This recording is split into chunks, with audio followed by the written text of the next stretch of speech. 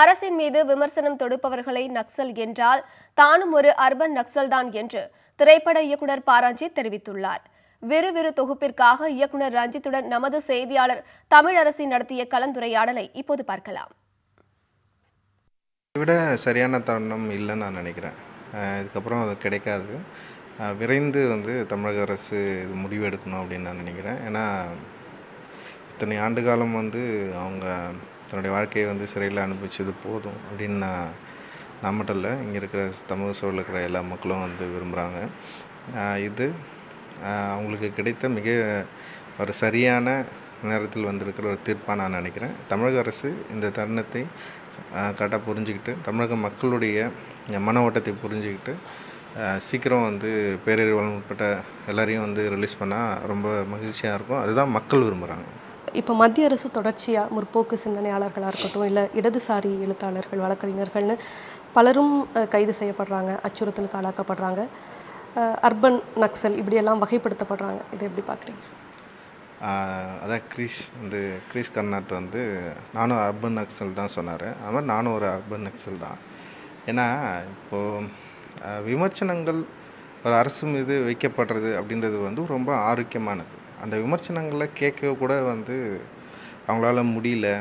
இல்லை நீங்கள் கேள்வி கேட்கக்கூடாது விமர்சனமே பண்ணக்கூடாது அப்படின்னு சொல்கிறது ரொம்ப மோசமான சூழலாக நான் நினைக்கிறேன். அதுவும் இந்தியா ஒரு ஜனநாயக நாடு அப்படின்னு சொல்கிறப்போ இந்த ஜனநாயக தன்மை அப்படின்றது வந்து வெறுமனே ஓட்டு போட்டு தேர்ந்தெடுக்கிறது மட்டும் கிடையாது.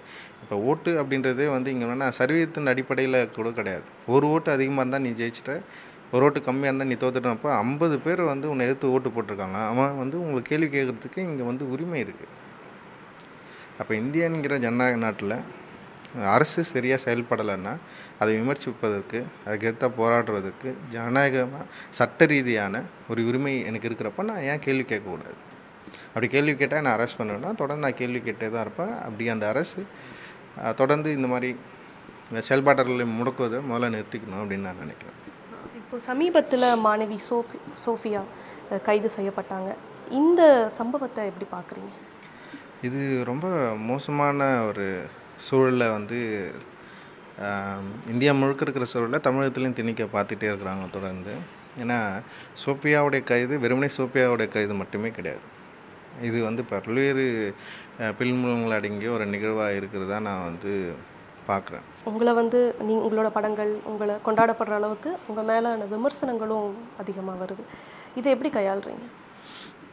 உண்மையிலே விமர்சனங்கள் என்னை வந்து தொடர்ந்து கேள்வி கேட்டுகிட்டே இருக்குது அந்த கேள்விக்கான பதிலை நான் தொடர்ந்து தேடிட்டே இருக்கேன். நான் வந்து ஒருத்தர்கிட்ட இருந்து விலகி போகணும்னு நினைக்கல. அதுதான் என்னுடைய பிரச்சனை. ஏன்னா எல்லாருக்கிட்டேயும் வந்து கூட நின்று கை கொடுத்து கட்டி பிடிச்சி நம்ம எல்லாரும் ஒன்றுன்னு சொல்ல தான் நான் விரும்புகிறேன் அதனால் அப்படி சொல்கிறப்போ வந்து வர விமர்சனங்களுக்கு நான் கரெக்டான பதிலை தேடுறேன். அந்த பதிலை அவங்க விரும்புகிற ஒரு கரெக்டான சொல்ல அந்த என்ன சொல்கிறது கனெக்ட் பண்ணுறதுக்கான ஒரு தளத்தை நான் உருவாக்கணும்னு நினைக்கிறேன். அந்த உருவாக்குறப்போ இந்த விமர்சனங்கள் வந்து ஒரு சரியான பாதையில் செல்லும் அப்படின்னு நான் நினைக்கிறேன். அவதூறுகளை பற்றி நான் எப்போவுமே கவலைப்படுறதில்ல. ஆனால் எம்எல்ஏ வைக்கிற விமர்சனங்கள் நேர்மையாக இருக்கிறப்போ அந்த விமர்சனத்துக்கான பதிலை நான் தேடுறேன். அந்த பதில் விமர்சனம் வைப்பவர்களை வந்து திருப்திப்படுத்துகிற இல்லை வந்து அவங்களோட யோசனையை அவங்களோட சிந்தனைகளை மாற்றுற ஒரு பதிலாக இருக்கும்னு நான் நினைக்கிறேன்.